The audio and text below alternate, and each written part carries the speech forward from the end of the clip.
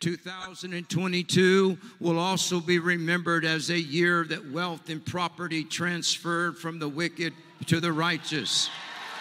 Did I not say I would give you houses that you did not build and vineyards that you did not plant? 2022 will also be remembered as a year that wealth and property transferred from the wicked to the righteous. Now, here we, we've got uh, Kent Christmas from December 31st of 21, last year, where he took the stage and lied in the name of the Most High, telling all those who would listen that God said that 2022 would be remembered as the year where wealth would be taken from the wicked and given to the righteous. Well, today is December 14th, 2022. Anybody have any wealth fall into their lap? No? Nope, I haven't heard anything either. But again, this is a documented testimony to show you that without any shadow of a doubt, this man is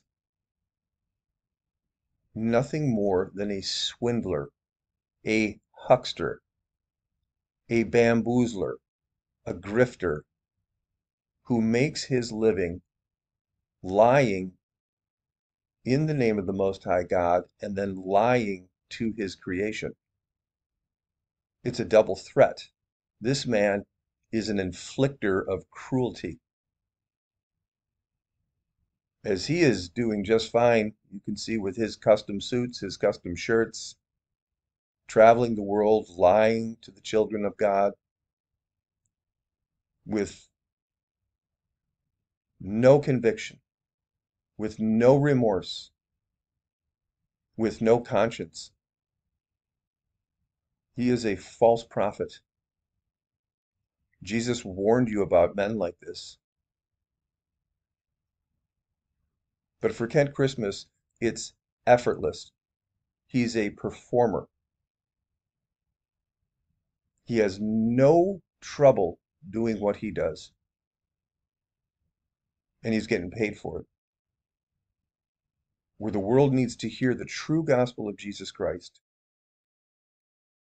where there are lost souls, desperate, being crushed with sin, who need salvation. That's what they need to hear. But this man and many of the other false prophets who have falsely prophesied this wealth transfer, they're shipwrecking faith. They're causing people to walk away from God because of this absolute lie Preach the gospel of Jesus Christ. Seek Jesus Christ through his holy scripture and stay away from these atrocious, lying men who could care less about what Jesus did for us.